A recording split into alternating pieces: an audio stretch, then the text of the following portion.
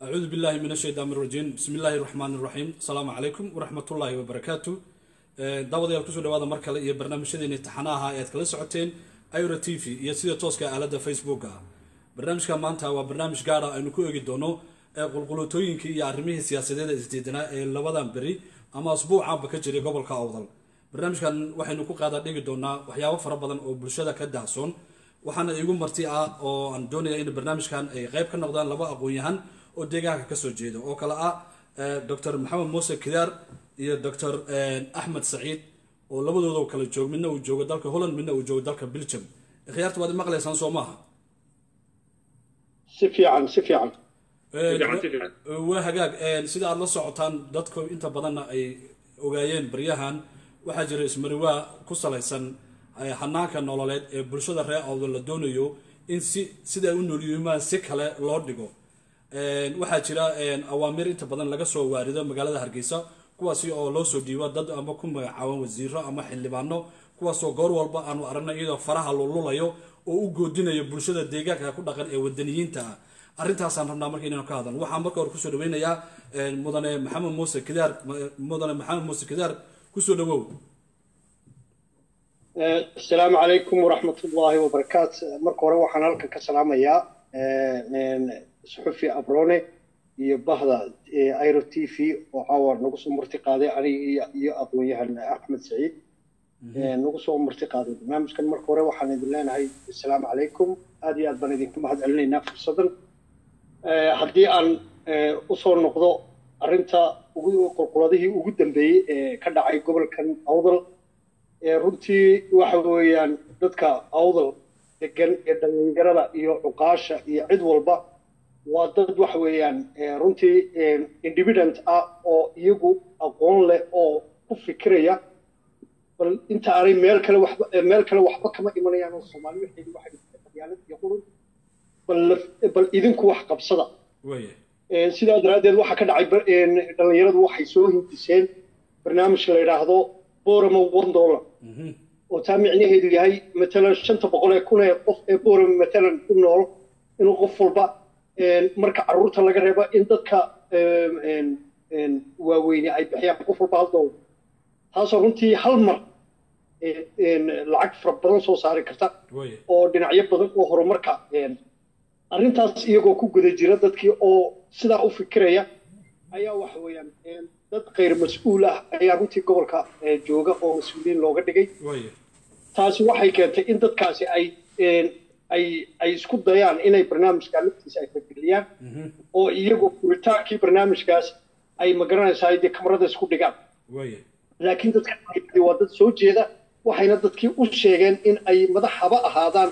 Laakiin inay dadkudaan oo ay wakti marka microfoonka loogu yeedho taasi runtii waxay keentay in ninka maanta hadda ku magacaaban barasaabka gobolku markaa dadkii oo wada maqlaya uu diinta ilaahay uu caayo oo uu ma garanaysaa diinta caayo taasoo runtii ah aad iyo aad iyo aad uga baxsan ma garanaysaa anshaxa mas'uulnimo maadaama aynu nahay oo waxa diinta ilaahay qofka caayaay dee waxa weeyaan culimadu sida ay noo sheegeen culimadii iska daba hadlay oo uu hogaaminayo sheekhulbeledku sida ay noo sheegeen waxa waxa uu dibadda ka noqonayaa iimaankii uu awal islaamka ahaa dibadda ka noqonaya falkaa darteed marka waxa weeyaan arrintaas ayaa runtii waxa weeyaan aad iyo aad iyo aad uga cadhaysiisay dhammaan mujtamacii ku noolaa gobolka oo ay hogaaminayaan culimadu.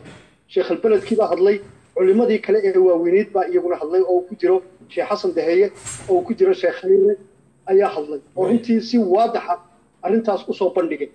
Halkii magarasa ninkii qaladka galay uu uu odhan lahaa uu toobad keeni lahaa uu odhan lahaa waraalleha layga noqdo uu qiran lahaa uu mas'uuliyaddiisa qaadan lahaa wuxuu keenay dafiraad.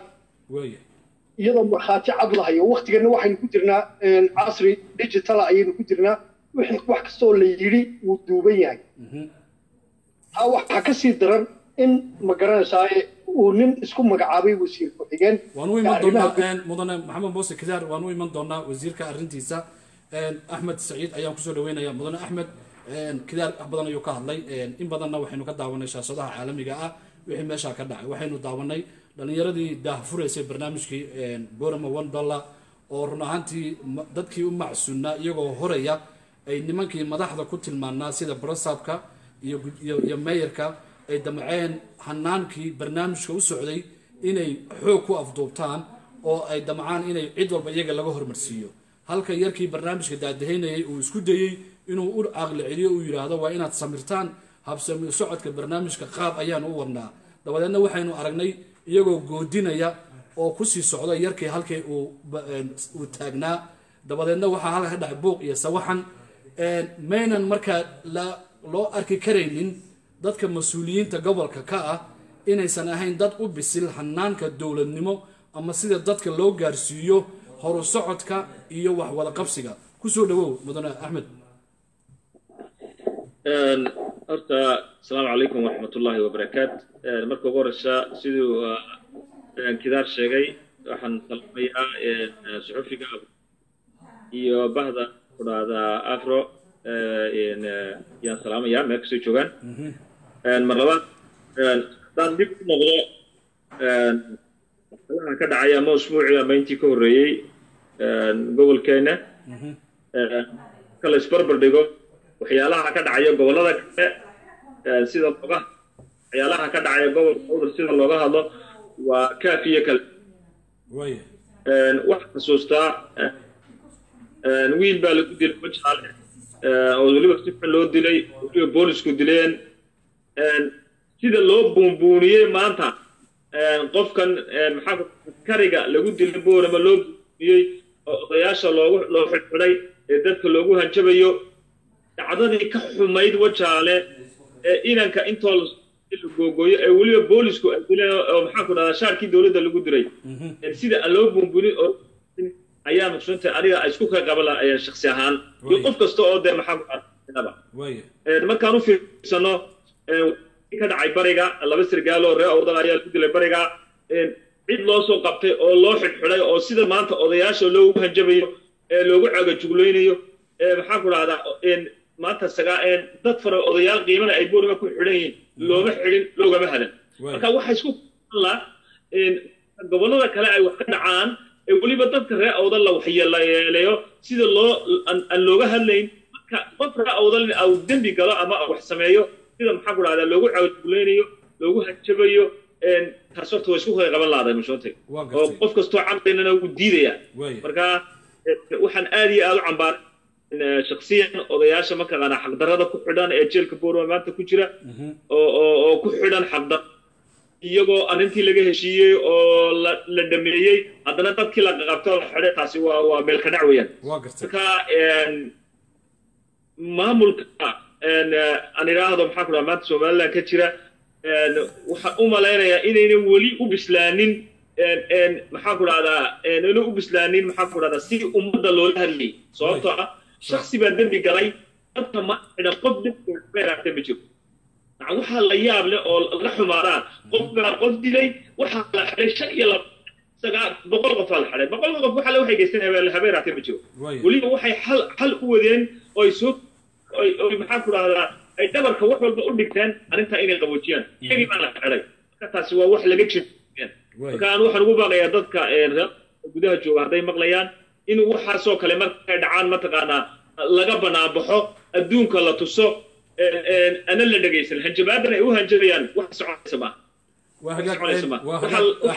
axmed waan kaa dhexgalo run ahaantii waxaad ka mid tihiin haldoorka gobolka u dhashay ee dibadda ku nool. Dadka gudahana inta badan waxay u hanqaltaagayaan idinku inaad qayb ka noqotaan hor u socodka iyo hormuudnimada bulshadaasi lagu gardaadinayo maynan habbooneyn in aad idinku laftiina awoodda iyo caqliga iyo garashada iyo hufnaanta inaad kula noqotaan dhulkii oo aad dadka aad tustaan habka loo nool yahay oo qaabka hadda ay yihiin aysan ahayn sida sida dhabta ah. Taa maynan jirin in aad idinku laftiina ay tahay inaad isku canaanataan oo aad dib ugu noqotaan dhulkii oo aad dadkiina la qaybsataan dhibta iyo faa'iidada labadaba waa runta abroone waa run inaan kolley waan ku noqon doonaa insha allahu tacaala waqtiyada soo socda. Inta aan dibadda waxaa loo baahan yahay maanta casri baan haysanaa massajkeena waan gaadhin karayna kuwa gudaha jooga iyo kuwa dibadda jooga intaan gudaha ku dibadda jooga waxa muhiima inaan massajkeyga aan gaadhsiino dadka kolley insha allahu tacaala soo socda waanu ku noqon doonaa dhulkeena aniga iyo kidaar iyo iyo maxaa ku dhahdaa iyo dad fara badan oo maxaa ku dhahdaa maraykan iyo iyo meel kasta jooga oo ka qayb qaadan doona maxaa ku dhahdaa sida wax loo maamulo sida loo wada nool yahay sida maxaa ku dhahdaa wax loo maareeyo insha allahu tacala inaan ummadda tusno insha allahu tacala waan ku rajo walaya inaan ku noqono sanadaas oo sanadaas soo socda insha allahu tacala oon siyaasadda ka qayb galo aad baad mahadsan tahay iminka waxaan u yeerayaa mudane kidaar kidaar waad maqlaysaa soo maaha aad iyo aad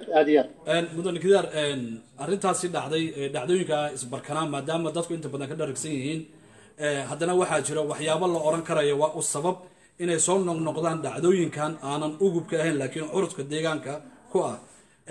Laba cisho ka hor waxaynu daawanay wasiir ku-xigeen hargeysa laga soo diray oo goodinaya oo odayaashii haldoorkii ama dee dadkii garab weyntii magaalada inta isugu yeedhay faraha fiiqfiiqaya oo u goodinaya oo weliba hadallo kulkulul oo xanaf leh oo baritaaraya bulshada deegaanka ku hadlaya.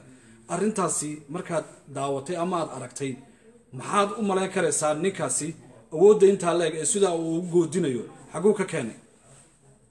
Runtii aad iyo aad baan uga xumahay. Nin mas'uul sheeganaya intuu odayaashii dadkii caqliga u saaxiibka ahaa iyo dadkii culimada ahaa iyo dadkii aqoon-yahankaa intuu isugu yeedho inuu haddana isagu waxaan macquul ahayn hortooda uu ka sheego oo uu farta u lulo. Runtii waa mas'uuliyad darrada meesha taalo weeyey laakiin waxaan kuu sheegayaa sidii axmed bahore u sheegay gobolkeenna waxaa saaran waxaad moodaa in xukun military uu saaran yahay oo sida loo maamulayo ama loo maaraynayo wixii ka dhacay ay aad iyo aada uga duwan yihiin gobollada kale marka la agdhigo waayo taa waxaa tusaale uga soo qaadan karaa dilkaa iminka aynu ka sheekaynayna askariga. Maalintii uu dhacay ninka barasaabkii wuxuu wuxuu yidhi waxaa la joojinayaa tootale mashruucii biyaha ilaa ninkaa la keeno. Taas gobollada kalena waxa weeye waxaa ka dhaca arrimo ka waaweyn saraakiil baa lagu laayay dad baa lagu laayay dagaallo ehliyaa ka dhaca wax kastaa ka dhaca boqolaal dil baa ka dhaca. Weli ma aan maqan mashruuc baa la joojinayaa iyo magaraysaa wixii dowladda ay xaqa dadku u lahaayeen iyo waxaa laysku xidhayaa falkaa meesha dhacay. Waa markii ugu horeytaan maqlo wey marka laakiin ninkaas maalinta ka qurbeynaya wasiir ku-xigeenka ah keliya maaha mid kasta oo yimaadaa gobolka. Dadkeenna sidaasaa loogu cagajuglaynayaa fartana loogu lulaya marka anigu waxaan oran lahaa ummaddeennan maanta innagay arrinta waxaan dadka fariintaan halkan uga gudbinayaa waxa weeye war ha ka ogolaanina ha ka ogolaanina in dadkiinii ma garanaysaaye ehlu sharafka ahaa ee ehlu karaamka ahaa maalin walba kamarada horteeda ma garanaysaaye lagu xaqiro oo loogu cagajugleeyo oo loo hanjabo. Waxaan leeyahay bulshada reer awdal war gacmaha isqabsada ha ka ogolaanina noo dhaha waxa weeyaan awooddu shicibkay ku jirtaa. Dowladnimadan lagu dowladaynaya haddaanan adigu ogolayn cidi kuma dowladayn kara waxa weeyaan wixii inaga gaf inagu ah in ay shacabka iyo dhallinyarada iyo hooyooyinka iyo dadkoo gacmaha is haystaa ay diidaan weeyaan ka bannaan baxaan weeye ay muujiyaan sida ay uga xun yihiin ayna ogolaanna taasna anu kula dadka kula dardaarmaya. Waad mahadsan tahay axmed saciid ayaan u yeerayaa mudane axmed run ahaantii gabagabadii barnaamijkeena ayaanu ku sii siqaynaa aynu ugu talagalnay maanta inaynu ka hadalno arrimihii doorka ahaa ee baryahan ama qulqulatooyinka ka jiray ee gobolka awdal. Waxaa jiro rag badan oo gobolka u dhashay oo siyaasiyiin iyo xildhibaano ah oo run ahaantii degan ama deegaankooga uu yahay magaalada hargeysa la socdo habeen iyo dharaar waxa gobolkooga ka socdo. Dadkaasi waa dadkii u dhaartay gobolkan inay wax u qabanayaan waa dadkii mataqaanaa gobolka wax u bartay waa dadkii magaca iyo maqaamka iyo martabada gobolkan ku joogay hargeysa. Dadkaasi afkay xidheen indhahay xidheen dhagahay awteen maxaa la gudboon bulshada gobolka oo kala gudboon inay ka hadlaan haldoorkoogii maqnaa ee aanan arrintooda marna soo faragashanayn iyagoo arkayo kii suldaanka u ahaa oo la bahdilayo adeerkiisoo la bahdilayo inamadoodii isku xilqaamay inay gobolkoogii wax u qabtaan. Arrintaa ku soo dhawow. Abrone waa su'aal aada u muhiima oo oo in laga jawaabo aada iyo aada u qiimo badan. Waxa weeyaan qofka ummadda matalaya ee la doortay ama baarlamaana ku jiro ama golaha fulinta ku jiro ama meel kaleba ha joogaba. Hadduuna lahayn inuu ka jawaabi karin hadday dhibaata ku timaado gobolkiisa ama dadkiisa hadduuna hadduuna awoodu lahayn waxa u qurux badan inuu iska cad oo xilka iskaga dego. Qofka dee damiir leh ee sharaf leh ayaa taa sameeya. Laakiin iminka dadka jooga gobolka ka tirsan ee ku jira xukuumadda ama golo fulin ahaadaan ama maxaan ku dhahdaa baarlamaan ahaadaan. Waa siduu xasan sheego waa dad fuji qaata waa dad eeganaya maxaan ku dhahdaa maxaan ku dhahdaa shilinkooda oona dadka eegayn. Laakiin qofka eegaya dadkiisa ogolaan maayo damiir kuma siinayo waxyaalaha dhacaya way iswada casin lahaayeen. Kuwa waxaan ugu baaqay haddayna dadka u hadli karaynin inay shaqada iskaga tagaan oo iscasilaan waxaan halkan jaaliskan uga faa'iidaysayna habalyo u dirayaa dhammaan dalada culimada ee gobolka awdal oo si midaysan oo ku jirto dadnimo uga hadlay arrintii ugu dambeysay ee gobolka ka dhacday. Hay kuwa siyaasiyiinta isku sheegaya gobolka ee xisbiyada ama mucaarada ku jira ama maxaafada ku jiro iyo ururada kale bulshadu inay midoobaan. Sida culimmadu ay u midaysan yihiin ay uga midoobeen arrintaa ka dhacday inta lagu xadgudbay inay iyaguna u midoobaan markuu khalad yimaado ay ay uga hadlaan. Ugu dambaysa ku soo gabagabanaya waxaa odhan lahaa marka la inii yeedhayo ama wasiir inii yeedhayo ama cid inii yeedhayo haddii la iniigu hanjabay meesha banina bifadlag waxaa ka codsanayaa qolooyinka dhaqanka ama siyaasiyiinta ama urur kasta oo bulshada ka mida oo gobolka awdala marka la inii yeedhayo haddii aana meesha karaama olin ha u imanina meel la hanjabayo. Taasaan ugu dardaaraya. Aadna intaada ka bixin mudane axmed waxaa tiri haddii qofka damiir kale ayaa ayay ayay dhibaysaa arrintan.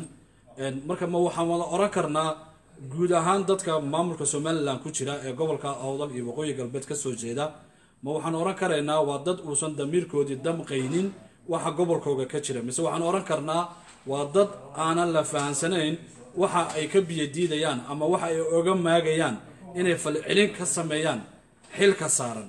Maanta bal taa ka eeg labaan u kala qaadaynaayo golaha fulinta madaxweynaha doortaba haba cabsadaan kuwaasi oo shaqada laga eryaha kuwa kuwan baarlamaanka ku jira dadkaas soo doortay xaq bay u leeyihiin arrin kasta inay ka hadlaan. Cid la hadli karto eryi kartana ma jiro. Marka anu waxaan aaminsanahay inay shaqooyinkoodii gabeen. Waya okay waya waxaan u yeerayaa mudane kadaar gabagabadii barnaamijkeena ayaynu ku jirnaa. Mudane kadaar su'aasha aan ku weydiinaya waxa weeyaan run ahaantii waxaa jira meeshani waxaa lasku waxaa laisu geystay waxbaa la isku darsaday amni iyo deegaan iyo dad baa la isku darsaday. Ma jiro gobol loogu hanjabi karayo waxa aynu doonayno run ahaantii dadka ay doonayaan wax loogu hanjabi karayo ma jirto.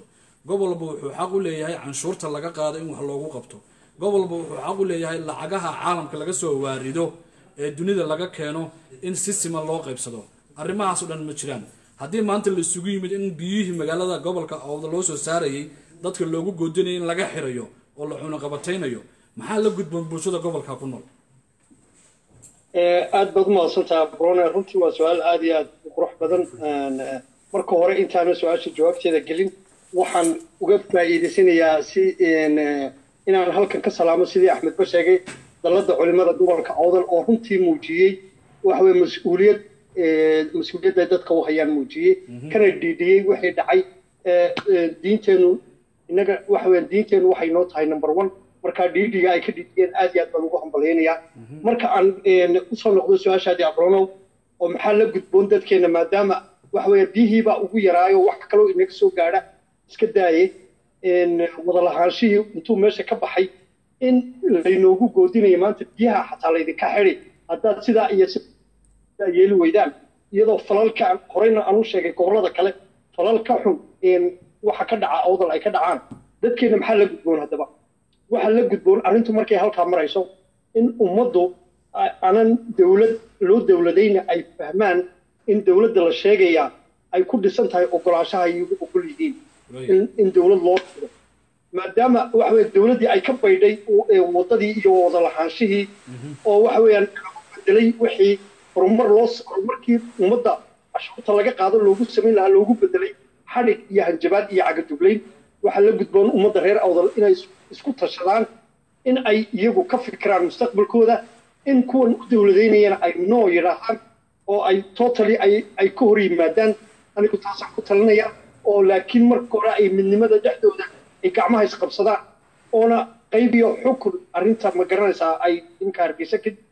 Inagaga timaadaa waa qaybiyo xukun qaybiyo xukunta intoo daaqada laga saaro dadku gacmaha isqabsadaan ummadda reer awdal waa isku dan ay dantooda mid ka dhigaan ay dabadeedna ay xaqoodii ama xaqoodii helaan ama ay xaqoodii waddadii ay ku heli lahaayeen.